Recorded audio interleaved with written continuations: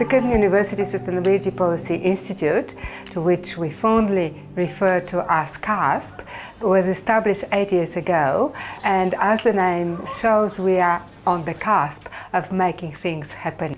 We have a big agenda to make this world more sustainable, and we're tackling this head on by trying to find practical solution and dealing with problems that are theoretically very difficult, wicked problems. We started as a small unit with five people and probably about 30 PhD students, which is small only by comparison to where we are now. We have about 20 staff and 100 PhD students, and we believe that we are one of the largest, if not the largest, institute that focuses on sustainability and has a very active and large PhD uh, student body. The CUSP areas of research cover things from sustainable cities to sustainable cost and resilience and participatory sustainability as well as innovations that can implement sustainability, that can facilitate the transition to sustainability.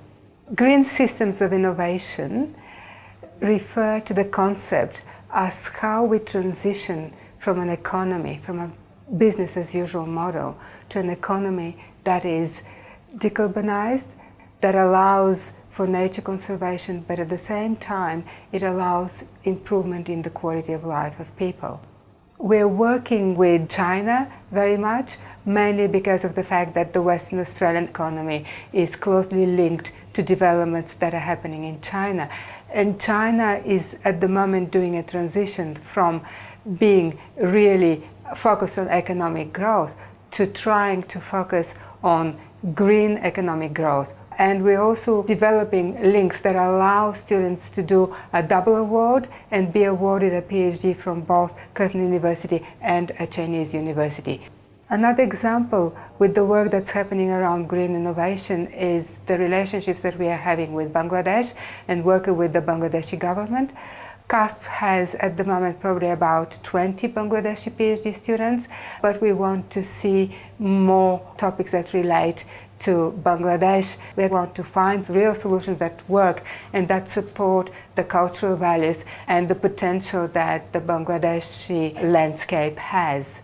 Another example relates to our own indigenous people.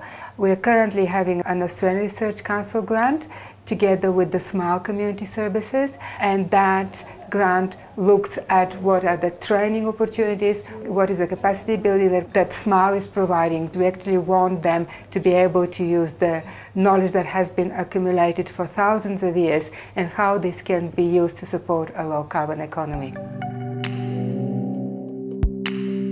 Sustainability in cities is about moving towards a future where social and technical innovations can help us to improve our way of life, making cities that are more livable, where we use less resources and less energy. I think that the challenge facing us in many of our cities is the actual transition to um, sustainable environments.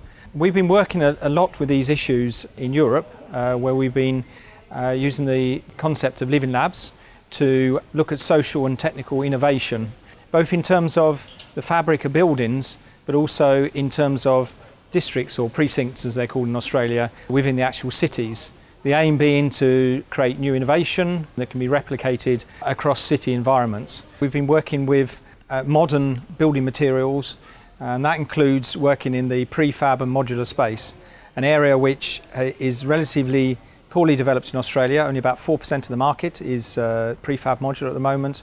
In Sweden, Scandinavia, it's about 75%. That's something that will come into the Australian space and we are working with um, companies to, in research projects uh, to, to, to enable this process. Within the whole of the framework of um, social and technical innovation, we're also developing a Climate-KIC in Australia, KIC being a knowledge innovation community we're working with the top universities in the science, technology, engineering and maths um, area and we're looking to create a space of climate innovation that will provide a competitive advantage for Australia as we move into a new area of uh, livable cities. The Resilient Systems program is an action research program aimed at encouraging communities and especially coastal and regional areas to bounce back, or rather bounce forward, from traumas or impacts such as climate change. The target of resilience is always sustainability. An example of the sort of action research project we do is to run participatory mapping workshops with communities. So we gather stakeholders and community members together and we work through with them what the implications are of sea level rise or bushfire to their local area. And they also identify pathways forward to the future. We work closely with traditional owners to develop a set of principles about how Western scientific knowledge systems can engage with Aboriginal knowledge systems to create a respectful knowledge partnership. Curtin University also has shares in the Margaret River Education Campus, and CUSP has a number of action research projects running out of campus. A number of PhD researchers and master's researchers are also based at the Margaret River Education Campus taking advantage of the facilities there and the beautiful regional setting. It's energised Margaret River towards sustainability in fantastically productive ways. Council's involvement with CUSP has led to a huge increase in the people coming to sustainability seminars. So that's been good. And all of these aspects are involving the community in providing the learning information that they need and the capacity for local research. Democracy is probably the best, um, most resilient way to work with sustainability, but our democratic systems aren't working well. Uh, people don't trust politicians, people don't even trust the institutions of government. Governments are really there for the short term and they're looking at the short term interests and what will get them elected next time around. So, what sort of governance do we need to be able to get a sustainable world? And that's the work I do and it is working with something we call deliberative democracy. And we find that people really respond to that and they're incredibly wise, and that if you give them the data, the information, the science, they come up with decisions that are eminently feasible, eminently doable, often a lot more ambitious than what governments would have done in the first place. And if nothing else, they could be advising government. Australia wide, we have used this work. We created the first Australian Citizens Parliament, where a random sample of every single electorate worked together over five days to come up with how do we strengthen our democracy. This is the work that can revitalise the democratic systems we have. And so we still achieve democracy, but we achieve it far better than we currently are managing to do. Well, this has been a 30 year journey in establishing a Sustainability Policy Institute with a global orientation, but very practice oriented and with a, an opportunity to help create a whole new profession. We are now attracting people from around the world. 100 PhDs, a very good sized institute. Uh, there aren't many like it. And they're coming to us because they are not happy with the professional orientation they've got. They need to change, they need to create a greater contribution. And we can help do that. So we are creating this new doctorate in sustainable development in order to fulfill this need to work on the sustainable development goals as they apply in their own countries and in Australia. And we have plenty of opportunities to actually demonstrate this new approach and to help solve major global problems at the same time as, as creating good work for people to do.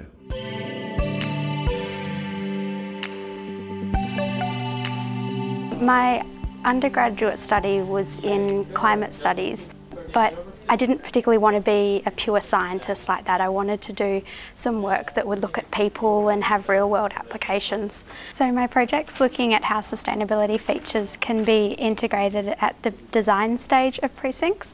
So looking at um, what sort of business models and, and financial models can be used to get companies to put in sustainability features such as solar panels or batteries uh, instead of just going for the business as usual. CUSP has been a really good environment to come in as a new researcher who's just sort of finding my way around the scene everyone here has been really friendly and helpful and, and, it's been a great environment to see lots of collaborative research happening and uh, people with lots of different interests all coming together to work towards something better. The research project title is Financing Urban Rail to Land Value Capture and it is based in India. I'm taking five cities as the case studies. I'm familiar with the system, how the rules work, who are the officials and how the urban planning is done. I also understand the gaps of research because they are not exposed to the things which I'm getting exposed in Australia now. the exposure I get in CUSP because there are people working in pretty much every discipline in terms of sustainability. I'm hopeful that will help particularly India, that research to build more urban rail system which will ultimately lead to a sustainable cities and that research might help the other developing countries also. Basically, I'm researching why do Australians eat uh, red meat, and particularly I'm interested in their attitudes, perceptions towards red meat consumption and uh, their way of changing uh, for sustainability reasons. I want people to think about uh, what harm to the nature is done and what harm to the animals is done as well. I'm going to create a website, stories about cow slaughtering and all of these things that people eat and consume and drink. But I want to do something that uh, will be for the humanity and for the society uh, to make a difference. CUSP is fantastic because I have really supportive uh, supervisors, plus the rest of the staff here, every single time I'm in the campus, uh, is really, really good. And, and I love working with these people. They are fantastic.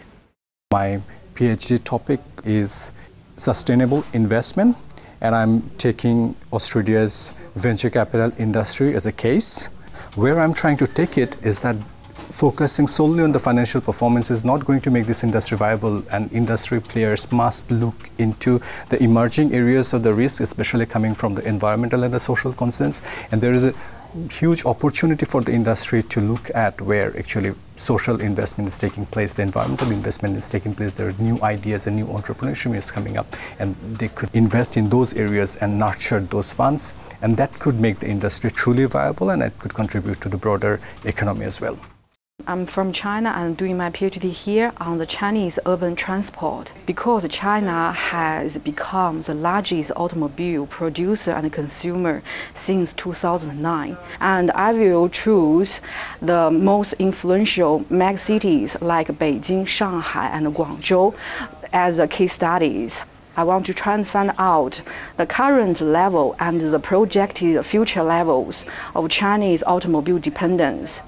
And finally, I try to provide the relationship between Chinese very dense urban fabrics and Chinese urban transport problems. My PhD was looking at increasing the knowledge of climate change in fishing communities. My focus was the Abrolhos Islands fishing group in Geraldton, just off the coast. So we spoke to the fishers and we also shared knowledge of what the scientific community had found. And we ended up asking the fishers if they would take photographs of the things they really loved about their community and their industry, and also any environmental changes that they'd seen over the past five to ten years. And we brought the fishing community back. We selected a whole lot of photos because we had over a thousand photos, and we put those into a large exhibition at the Geraldton Museum. We were telling the fishers' story, which was the collapse of their community, and also the scientists' story, which recorded a drop in the number of rock lobster larvae along the coast. And the climate scientist was talking about a change to currents and weather we won lots of awards, and the museum decided to take it to their other coastal museums around Western Australia. So my PhD's been fantastic fun. I've enjoyed every minute of it. I think it's told a really important story, and I'm nearing the end. And yeah, it was. It's been a great research project. My research is focused on renewable energy and accelerating the transition of renewable energy to Western Australia and the world. I'm presenting my candidacy today and I've basically selected my case study projects. I've started two of them. So one is a solar lifestyle village and the other one is a community wind and solar farm in Margaret River. I find CUSP to be a great networking opportunity. I've met incredible people um, and made connections through CUSP that I wouldn't have been able to make on my own. And I've been exposed to a lot of really good research and research projects that have advanced my research and my potential scope for implementations. It's been all about sort of creating that community and that discussion, uh, which to me is one of the most important parts about the academic side of things. I think energy drives me. Yeah, yeah. I've got a passion for the industry. I think it's the most important industry there is at the moment, and it sort of enables all of the developments and advancements we've made recently. And we're on the cusp of a huge transition. And yeah, that's what gets me out of bed in the morning.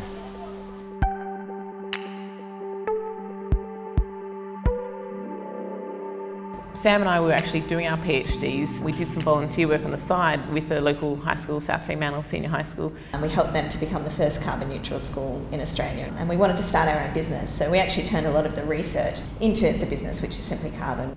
One of the big projects we're working on at the moment is the Low Carbon Schools um, pilot program. We're running over two years with uh, about 15 schools in, in Perth and we're helping them essentially to do what South Fremantle Senior High School did. We're running it as Simply Carbon and then the CRC is contributing a scholarship. We've got a Portia who's an amazing research student um, joining onto the program. We'll be publishing along the way and really yeah documenting it from previous research done but also taking that research forward as well. WGV by Landcorp is a two hectare residential infill project in White Gum Valley in Fremantle in Western Australia. All up there'll be around 80 dwellings which will house up to 150 people. We're targeting a 60 to 70% reduction in operational energy and water use as well as operational greenhouse gas emission reduction. The project is hoping to set a benchmark not only here in Western Australia but nationally around high performance, low carbon residential precincts. The project's also one of a handful of developments that's received international certification under the One Planet Living Sustainability Framework. But perhaps the most exciting thing about the project is the range of partners involved and the collaboration that's come out of this. So in addition to the lead developer being Landcorp, there's a number of private industry developers who will be delivering the multi-residential apartment projects. Also, we've got other agencies like the Water Corporation and Department of Water who will be heavily involved in looking at the outcomes of the water efficiency and urban water management trials that will be happening here. There's also local government involvement through the City of Fremantle, as well as research organisations like Curtin University, the CRC for Low Carbon Living, and also ARENA. And that's where Gemma comes in. This ARENA project, along with the project partners, is uh, more than $3 million worth of investment to demonstrate how solar and storage can be deployed in the strata part of the property sector. The solar panels coupled with the batteries will demonstrate how we can take homes virtually off-grid, reducing their reliance on grid-based energy by more than 70% and also sell their excess power to other consumers. So it's really about the emergence of citizen utilities. The great thing about White Gum Valley is that we can see and monitor innovation in practice. All the people around the world. 2030 agenda is for you, is for everyone, everywhere. I was very excited about the work of the United Nations around the new Sustainable Development Goals that were agreed last year in uh, September in New York and we thought it would be nice to do a workshop in Western Australia to bring people in Western Australia together around the SDGs, what it might mean for Western Australia to embrace the Sustainable Development Goals. We brought together a diverse group of people from different organisations community-based organisations, research institutions, including groups like uh, the West Australian Council of Social Service, uh, representing the welfare sector, also people from Conservation Council of WA, representing the environment sector. The workshop focused on both the goals, but also how people could translate the goals into activities that were meaningful for them in Western Australia and would give extra credence to what people are already doing around sustainability and connecting issues like water and health and education, uh, together with a sense of well-being for people in Western Australia, but also connecting to others around the world. Uh, we had a meeting about uh, a month after the workshop and people decided it would be good to set up this WA SDG network. So the WA SDG network has been a, an informal network that allows people to work together collaboratively and CUSP has played a sort of independent role in a sense in bringing those different players together, different stakeholders together um, in a way that uh, could play a lead role but also let people play to their own strengths and pull out their own interests as part of that engagement. It's a collaborative project between Murdoch Uni and CUSP looking at nitrogen fixation and how that can improve agricultural productivity and sustainability. Symbiotic nitrogen fixation is absolutely essential. Mm. Uh, life on this planet absolutely depends on a source of fixed N. So we have to have a source of fixed N from somewhere. Uh, we can either provide that artificially through the use of fertilisers, or we can actually become more sustainable and actually use the symbiosis to drive uh, fixed nitrogen mm. input into our biological systems, so crop production, for example. So the international project has really started to explore the, the mechanisms behind all of these, these things.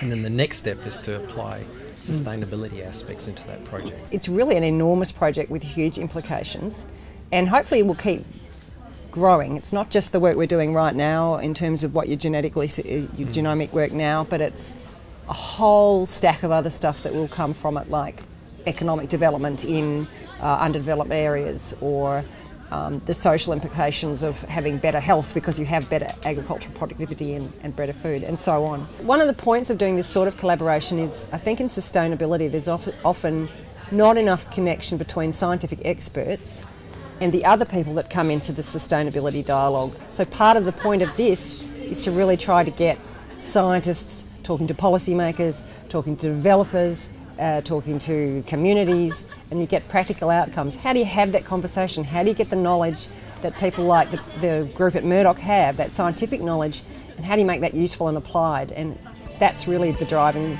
force behind us running the collaboration.